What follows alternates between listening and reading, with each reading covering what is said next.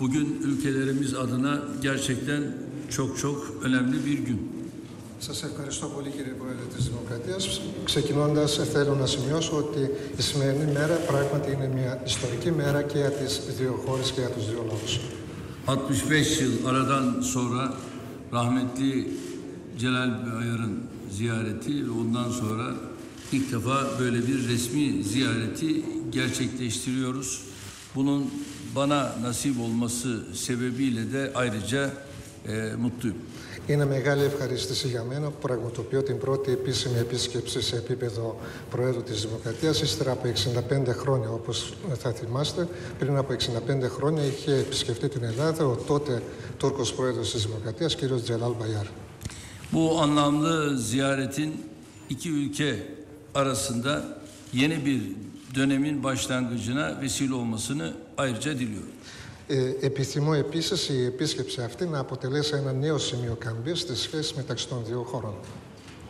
Tabii bazı gerçekleri açık net sizler ortaya koydunuz. Ben de açık ve net olarak ortaya koyacağım. Βέβαια, εσείς ε, διατυπώσατε κάποιες πραγματικότητες και κάποιες αλήθειες ανοιχτά και ξεκάθαρα. Θα κάνω το ίδιο και εγώ. Özellikle Lozan konusunda zannediyorum hala anlaşılmayan bazı incelikler var. Κυρίως στο θέμα της συνθήκης της Λοζάνης, νομίζω ότι υπάρχουν ακόμα κάποιες εκκρεμότητες και κάποια θέματα που δεν ε, ε, κατανοούνται σωστά. 94 yıl önce yapılmış bir anlaşma ve bu anlaşma sadece Türkiye ile Yunanistan arasında yapılmış bir anlaşma değildir. Αυτή είναι μια συμφωνία που υπογράφηκε πριν από 94 χρόνια και δεν είναι μια συμφωνία που υπογράφηκε μόνο ανάμεσα σε Τουρκία και Ελλάδα. Bu anlaşmanın 11 taraf ülkesi vardır. Υπήρξαν 11 χώρες που ήταν μέρη της συμφωνίας αυτής. Düşünün ki Lozan Anlaşması'nda Japonya bile var. Στην συνθήκη της Λοζάνης υπάρχει ακόμα και η Ιαπωνία. İngiltere var, Portekiz var vesaire. Υπάρχουν η Αγγλία, η Πορτογαλία και ούτω καθεξής. Bütün bu ülkelerle beraber hepsini kapsayan bir anlaşma. Bunu konuşuyoruz. Μιλάμε για μια συμφωνία που συμπεριλαμβάνει όλες αυτές τις χώρες. 94 yıl içerisinde dünya adeta yeniden inşa ediliyor, yeniden kuruluyor. Μέσα στο διάστημα αυτό των 94 χρόνων ε, ξαναοικοδομείται ο πλανήτης μας, ο κόσμος. Türkiye ile Yunanistan arasında da birçok şeyler bu arada gelişti, değişiyor. Άλλαξαν değişmeye. πολλά πράγματα και εμφανίστηκαν καινούρια θέματα ανάμεσα σε Τουρκία και Ελλάδα στο διάστημα αυτό. Mesela Lozan'da buradaki Türklerle ilgili Müslüman azınlık ifadesinin geçtiğinden bahsediyorsunuz. Για παράδειγμα, είπατε ότι στη συνθήκη της Λοζάνης χαρακτηρίζεται μουσουλμανική η μειονότητα στην Ελλάδα. Doğrudur ama aynı zamanda Avrupa İnsan Hakları Mahkemesi'nde Türk ifadesi orada geçmektedir. Είναι σωστό, αλλά ε, ταυτόχρονα και στο Ευρωπαϊκό Δικαστήριο Ανθρωπίνων Δικαιωμάτων υπάρχει η αναφορά στη λέξη τουρκική. Bu kararlarıyla da orada vardır. Αυτό αναφέρεται και στις αποφάσεις του ίδιου δικαστηρίου. Mesela bir başka özelliğe geleceğim. Oradaki insanların yaşam koşullarının ne durumda olduğunu değerlendirme noktasında buraya da şöyle iyice bir göz atmak lazım. Και θέλω επίσης να αναφερθώ ακόμα σε ένα θέμα και αυτό είναι ότι πρέπει να αξιολογήσουμε διευρυμένα και προσεκτικά τις συνθήκες διαβίωσης των ανθρώπων εκεί. Batı Trakya'da yaşayan Müslümanlar inandıklarını Lozan'a göre yaşayabiliyorlar mı? Μπορούμε να απαντήσουμε στο ερώτημα αν οι μουσουλμάνοι που ζουν στη Δυτική Θράκη μπορούν να ζήσουν τη θρησκεία τους σύμφωνα βάσει τη συνθήκη της Λοζάνης. Batı Trakya'da yaşayan Müslümanlar bugün ne yazık ki baş müftülerini kendi seçtikleri baş müftü değil, atanan bir baş müftüyle yönetilme gayretleri var. Υπάρχουν προσπάθειες που καταβάλλονται για να διορίζεται ο αρχιμουφτής των εκεί μουσουλμάνων όχι από τους μουφτίδες που εκλέγουν τα μέλη της μειονότητας αλλά από άτομα που διορίζει το κράτος. Türkiye'de mesela patrik atanan bir patrik değildir. Στην Τουρκία, για παράδειγμα, ο Πατριάρχης δεν είναι διορισμένος. Patrik Sensinot Meclisi'nin seçmiş olduğu bir patriktir. Ο Πατριάρχης εκλέγεται από την ε, ε, Αγία Σύνοδο με τις εκλογές των μελών της Συνόδου. Lozan'a göre de malum belli bir sayıda na- sensinot meclisi oluşur. Και σύμφωνα με τη συνθήκη της Λοζάνης, όπως γνωρίζετε, η Επιτροπή αυτή αποτελείται από ένα συγκεκριμένο αριθμό μέλων Ve bunların da Türk vatandaşı olması και lazım. αυτοί πρέπει να, είναι, να έχουν τουρκική ηθαγένεια Ve sensinot meclisindeki bu sayı azaldığı için ben mesela Patri'ye demişimdir ki siz bize isimler verin. Biz bunları Türk vatandaşlığını alalım Ve sensinot meclisinde bu sayıyı dolduralım. Επειδή μειώθηκε ο αριθμός των μελών με τουρκική ηθαγένεια στην ε, Αγία Σύνοδο, είπα στον Πατριάρχη να μου δώσει κάποια ονόματα στους οποίους να, παρα- να δώσουμε την τουρκική ηθαγένεια για να συμπληρώσουμε το κενό που υπάρχει εκεί πέρα. Ve bize verilen bu isimleri biz vatandaş yaptık. Sensinot meclisinin bunlar üyeleri oldular. Και δώσαμε τουρκική ηθαγένεια στα ονόματα που δόθηκαν από τον Πατριάρχη και έγιναν μέλη της Αγίας Συνόδου. Şu anda yanılmıyorsam 17 kadar Sensinot meclisinde üye var. Νομίζω ότι υπάρχουν περίπου 17 μέλη αυτή τη στιγμή. Patriği kim seçiyor? Bundan sonra seçecekse bu 17 kişi seçecek. Τα 17 άτομα αυτά εκλέγουν τον Πατριάρχη. Ama Yunanistan'da gerek başbakanlığım döneminde gerek cumhurbaşkanlığım döneminde hala biz Batı Trakya'da maalesef oradaki Müslümanların baş müftüsünü oradaki imamlar, din adamları seçememiştir. Στη Δυτική Θράκη όμως είναι ένα θέμα που συνεχίζεται επί της Πρωθυπουργίας μου. Εξακολουθεί να μην μπορούν οι ημάμιδες ε, που βρίσκονται στη Δυτική Θράκη να μην μπορούν να εκλέγουν τον αρχιμουφτή τους. Bu nasıl oluyor da Lozan Anlaşması'nın uygulamada olduğunu söylüyoruz? Πώς μπορούμε να πούμε σε αυτή την περίπτωση είναι- ότι είναι σε ισχύ η συνθήκη της Λοζάνης; Demek ki Lozan uygulamada değil. Α, από εδώ συμπεραίνουμε ότι δεν είναι σε ισχύ, δεν εφαρμόζεται η συνθήκη της Λοζάνης. Lozan'ın uygulanabilirliğini bu şekilde ortaya koymamız lazım. Πρέπει να αποδείξουμε με τον τρόπο αυτό ότι είναι σε ισχύ η συνθήκη της Λοζάνης. Ve bunu bugüne kadar tanıştığım, dost olduğum birçok başbakan arkadaşımızla Yunanistan'da hep görüşmüşüm. Και το θέμα αυτό συζητήσαμε με διάφορους φίλους μου Έλληνες πρωθυπουργούς μέχρι σήμερα. Sayın Simitis'le görüşmüşüzdür, Karamanlis'le görüşmüşüzdür, Papadro ile görüşmüşüzdür. Ve şu anda da yine Sayın Tsipras'la aynı şekilde görüşmüşüzdür, görüşüyoruz. Το συζητήσαμε με τον κύριο Σιμίτη, με τον κύριο Παπανδρέου, με τον κύριο Καραμανλή. Το ίδιο κάνουμε και με τον κύριο Τσίπρα τώρα. Ama netice alamadık. Αλλά δεν μπορούμε να πάρουμε κάποιο αποτέλεσμα. İşin ekonomik boyutuna baktığınız zaman bugün Avrupa Birliği veyahut da Yunanistan'ın açıklanan kişi başına milli gelirine baktığınız zaman 18 bin dolar civarındadır. Ε, σ- Όταν, σαν κοιτάξουμε στην ε, οικονομική πτυχή του θέματος, βλέπουμε ότι ε, στην Ελλάδα το κατακεφαλήν εθνικό εισόδημα είναι γύρω στους, στα 18.000 δολάρια. Batı Trakya halkının ortalama kişi başına milli geliri 2200 dolar civarındadır. Ενώ στη Δυτική Θράκη το, ο αριθμός αυτός είναι γύρω στα 2.200 δολάρια. Yatırım noktasında, atılması gereken adımlar noktasında gerekli olan destekler onlara verilmemektedir. Bir ayrımcılık orada söz konusudur. Δεν υπάρχει η απαραίτητη στήριξη στον τομέα των επενδύσεων για τους εκεί ανθρώπους και υπάρχει μια διάκριση εκεί πέρα. Türkiye'de benim Rum vatandaşlarıma yönelik böyle bir uygulama göremezsiniz. Στην Τουρκία δεν μπορείτε να δείτε μια τέτοια εφαρμογή εναντίον των Ρωμαίων πολιτών μου. İbadethaneleri noktasında en ufak bir ayrımcılık göremezsiniz. Δεν υπάρχει η- μ, παραμικρή ε, διάκριση σε ό,τι αφορά τους χώρους προσέφης των ανθρώπων. Ama Batı Trakya'da bırakın bunları Türk kelimesinin yazılmasını dahi hazmetmek mümkün değil. Στη Δυτική Θράκη όμως ε, δεν μπορούν να χωνέψουν ούτε ακόμα τη λέξη τουρκική. Bir okulun kapısında veya dernekte eğer Türk yazıyorsa onu bile hazmedemiyorlar. Ε, Δεν μπορούν να χωνέψουν να γράφει η λέξη τουρκική σε μια πινακίδα ενός σχολείου ή κάποιου συλλόγου. Bence bizim bunları bir defa aşmamız lazım. Εγώ είμαι της άποψης ότι πρέπει να ξεπεράσουμε όλα τα θέματα αυτά. Benim güncellenmesi gerekir dediğim konu işte bunlardır. Όταν μιλάω για επικαιροποίηση εννοώ αυτά ακριβώς τα θέματα. Ve tabii birçok özellikle askeri konularda sıkıntılar yaşanıyor. Βέβαια υπάρχουν και ορισμένα προβλήματα κυρίως σε στρατιωτικά θέματα. E biz NATO'dan siz çıktınız, tekrar NATO'ya girişinizi biz sağladık. Όταν αποχωρήσατε εσείς από το ΝΑΤΟ, εμείς σας στηρίξαμε για να γίνετε ξανά μέλος του ΝΑΤΟ. Eğer biz engel olsaydık siz NATO'ya giremezdiniz. Αν είχαμε εμποδίσει τότε εμείς, δεν θα μπορούσατε να γίνετε μέλος του ΝΑΤΟ. Çünkü bir ülkenin muhalefeti NATO'ya girmenizi engelleyebilirdi. Διότι η αντίθεση μιας χώρας μέλους του ΝΑΤΟ μπορεί να εμποδίσει την ένταξη μιας άλλης χώρας. Ama biz öyle bakmadık. Δεν το αξιολογήσαμε όμως έτσι. Biz komşu diye baktık. Εμείς σας είδαμε σαν γείτονες. Ve bugün de öyle bakıyoruz. Το ίδιο κάνουμε και σήμερα. Aynı şekilde yine Kıbrıs'la ilgili yaklaşımınız tabii o görüşmelerin içerisinde siz olmadınız. Ben o görüşmelerin de bizzat içindeydim. Το ίδιο ισχύει βέβαια και για το Κυπριακό. Βέβαια, εσείς δεν ήσασταν, ε, δεν είχατε πάρει μέρος στις συνομιλίες για το Κυπριακό. Εγώ προσωπικά ήμουνα μέρος των συνομιλιών αυτών.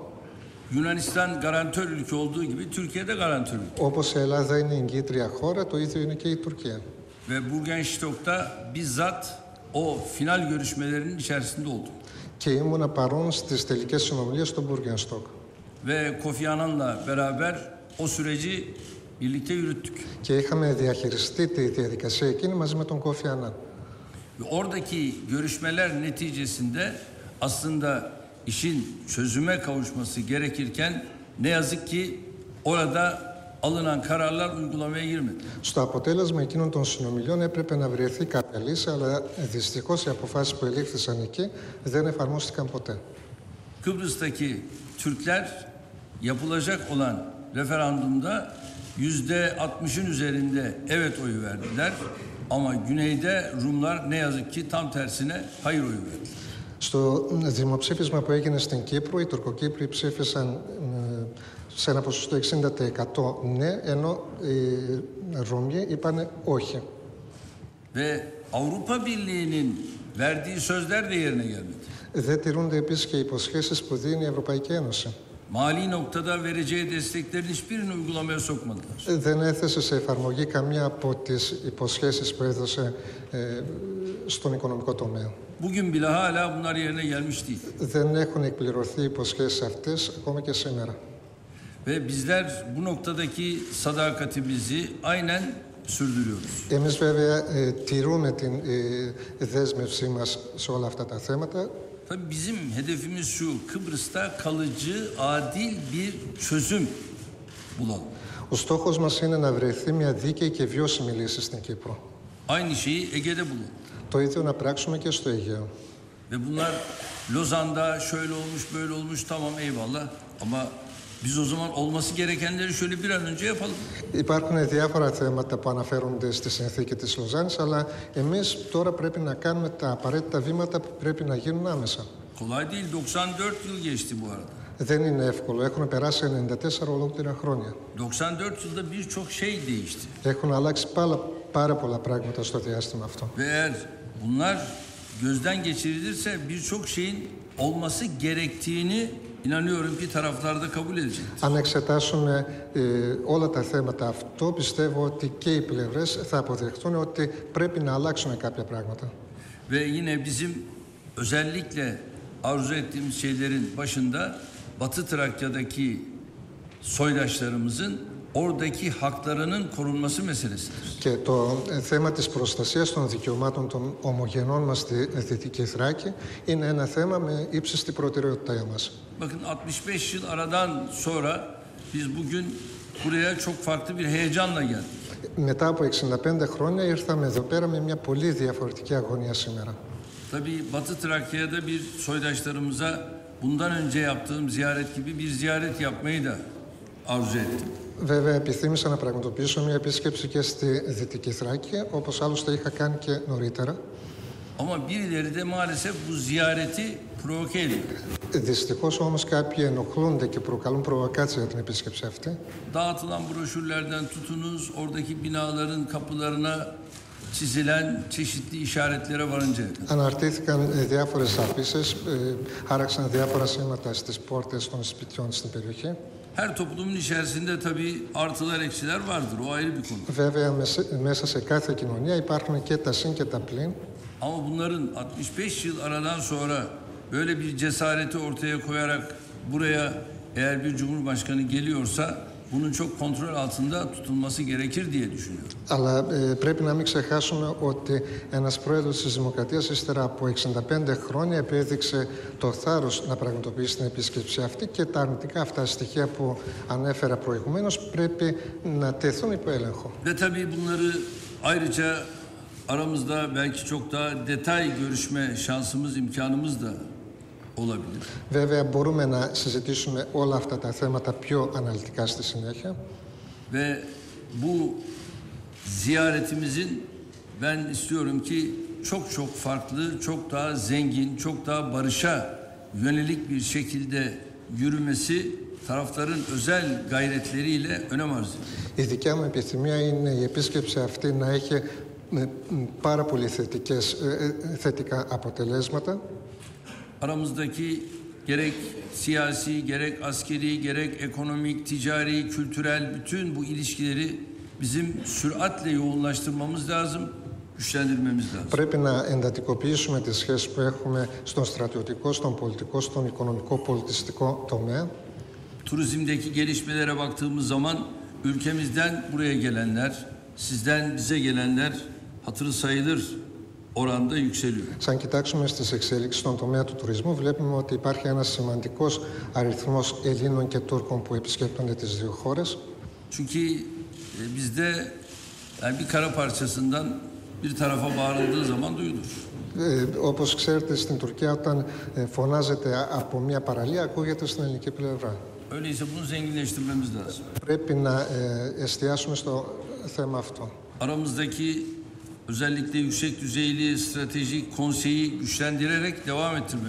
Πρέπει να συνεχίσουμε τη στήριξη που δίνουμε στο Ανώτατο Συμβούλιο Συνεργασίας μεταξύ των δύο Benim χωρών. Türkiye Cumhuriyeti'nin Cumhurbaşkanı olarak arzum şudur. Η επιθυμία μου ως Πρόεδρος Δημοκρατίας της Τουρκίας είναι το εξής. Biz bardağın boş tarafıyla uğraşmayalım. Εμείς να μην ασχοληθούμε με το κενό μέρος του ποτηριού, με το άδειο Bardağın μέρος. Dolu tarafına bakalım ve münasebetlerimizi güçlendirelim. Πρέπει να κοιτάξουμε στο γεμάτο μέρος του ποτηριού και να ενισχύσουμε τις μεταξύ μας σχέσεις. Bu ziyaretimizin de inanıyorum ki 65 yılı bir kenara koyup artık ileriye bakacak bir ziyaret olması temennisindeyim. Και πιστεύω ότι η επίσκεψη αυτή ε, θα αφήσει ε, πίσω τα 65 χρόνια σε ένα μέρος και μετά την, με την επίσκεψη αυτή θα κοιτάξουμε μπροστά. Teşekkür ederim. Σας ευχαριστώ πολύ. Ευχαριστώ κύριε Πρόεδρε. Ήθελα να πω, με τιμάτε ιδιαίτερα γιατί επεκτάθηκε η συζήτηση αυτή τόσο πολύ. Σας θυμίζω ότι δεν είμαι εκτελεστικός πρόεδρος όπως εσείς και τα ζητήματα όλα αυτά θα τα συζητήσετε με την κυβέρνηση. Δεν είναι δηλαδή ότι δεν θα είχα μια απάντηση σε αυτά που είπατε. Η απάντηση θα δοθεί από την κυβέρνηση για να μην μακρηγορώ. Καταλήγω με αυτό που είπατε. Εκείνο που πρέπει να κάνουμε είναι τις σχέσεις μας να τις στηρίξουμε στην ειλικρινή φιλία, στην επίλυση οποιοδήποτε ζητήματος μας απασχολεί με ειρηνικά μέσα. Αυτό το κρατούμε εμείς οι Έλληνες και το θεωρούμε πολύ σημαντικό. Μία μόνο παρατήρηση. Ξέρετε, είμαι πολύ ανοιχτός και πολύ ειλικρινής μαζί σας. Το αισθάνομαι αυτό το πράγμα και έτσι πρέπει να είμαστε. Θέλω να σας πω, χρησιμοποιώντας την παλιότερη ιδιότητά μου, θα μπορούσε να τη χρησιμοποιήσει και ο φίλος μου ο Νίκος Οκοτζιάς, με τον οποίο με συνδέουν και πανεπιστημιακοί δεσμοί.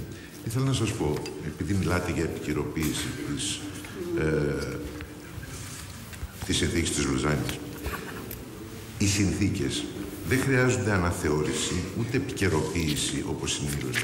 Η ερμηνεία του δικαίου, η μέθοδοι ερμηνείας του δικαίου είναι εκείνες που επιτρέπουν να προσαρμόζεται ο κανόνας δικαίου που περιέχει η συνθήκη στα εκάστοτε δεδομένα. Αυτό δεν λέγεται ούτε αναθεώρηση ούτε επικαιροποίηση. Λέγεται ερμηνεία. Οι μέθοδοι ερμηνείας υπάρχουν. Είμαι βέβαιος ότι το επιτελείο σας είναι απολύτως επαρκές. Ξέρω ποιο είναι το επιτελείο σας στα θέματα του διεθνούς δικαίου. Επομένως, αν αποφεύγαμε ορισμένους όρους που δεν ταιριάζουν και νομικά δηλαδή, νομίζω ότι ορισμένες παρεξηγήσεις θα είχαν λήξει την ώρα που έπρεπε. Σας είπα και πάλι, είμαι απόλυτα ειλικρινής και ανοιχτός, έτσι αισθάνομαι μαζί σας. Από την ώρα που βρεθήκαμε στην πόλη την εποχή εκείνη. Επομένως, συγχωρέστε μου αυτή την παρέμβαση, νομίζω ότι ολοκληρώνει την όλη συζήτησή μας εδώ. Τα υπόλοιπα θα τα πούμε από κοντά και έχω απόλυτη εμπιστοσύνη και στον συνάδελφό μου και φίλο μου Νίκο Κοτζιά, συνάδελφό μου πάντοτε με την πανεπιστημιακή ιδιότητα. Ε, σε